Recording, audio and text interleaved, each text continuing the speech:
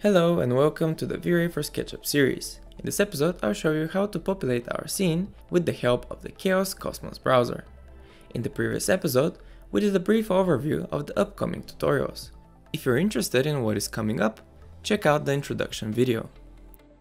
Let's start off by setting our render settings for test renders. The first thing we're going to do is open the asset editor and in the settings menu we will add a denoiser. This element will speed up our render times significantly.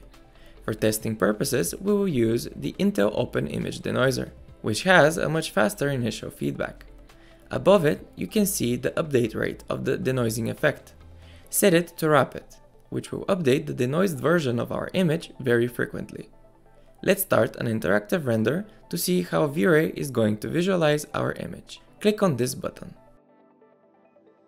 When we start an interactive render, we can see the V-Ray frame buffer pops up and previews our image.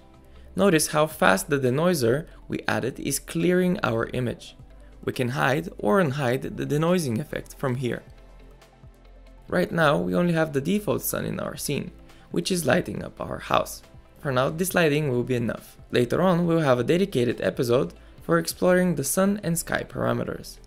As you have probably noticed, our house is floating in the air, something most houses don't do. An easy way we can change that is by adding an infinite plane to act as our ground. You can do that from here, and then position it wherever we like. This is a quick and easy way to create a starting point for our environment. From here on, you can start expanding. I have previously made an exterior environment, consisting of a few patches of grass and a wall around the premise. For now, this will be enough to start placing our exterior assets. Let's open the Chaos Cosmos browser. On the homepage, you can see all the different sections we can search for. Let's start with the vegetation. In each section, there's a bunch of subcategories you can choose from. In this case, we want to add some trees in our scene. If you want a specific type of tree, you can search it from here. When we click on the model we want to use, there is additional information about it.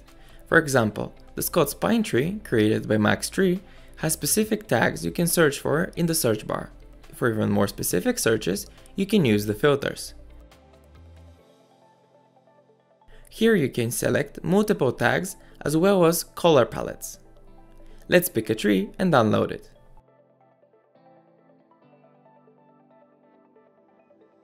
When the asset is ready to be used, you will see the blue check mark on the corner. You can see all the models you have downloaded here. Now if we click on this icon, the browser will automatically close and you will have the option to position your asset anywhere in the scene. Note that objects imported from the Cosmos browser will be placed exactly on top of the surface you're placing them on. This means that objects can also be stacked, which I will show you later on. To speed up the process of this tutorial, I have added the trees and the rest of the exterior assets. As you can see, after adding the exterior assets, we start to get a sense of the location of our house. We use the Scots Pine model as our primary tree type, which is located in high altitude places above the Arctic Circle, in places like Scandinavia. This is important because you can research different types of vegetation in that region. The trees in our scene fit the type of house we chose, but they are not enough to look like a forest. If we start copying and pasting our trees in the background, it will not only take a lot of time, but it will also make our scene harder to work with. This means if we add a lot of trees, we can expect our render times to be higher and navigation to slow down. To prevent that, I have the perfect solution. We will add these background trees. This is a backplate shape model with a tree texture on it. I have positioned each set of backgrounds with a bit of an offset in the distance to create depth. Before we finish the video, I will give you a little tip for the Cosmos assets. If you want to delete an asset you have downloaded from the Cosmos browser, you can do so by navigating to here.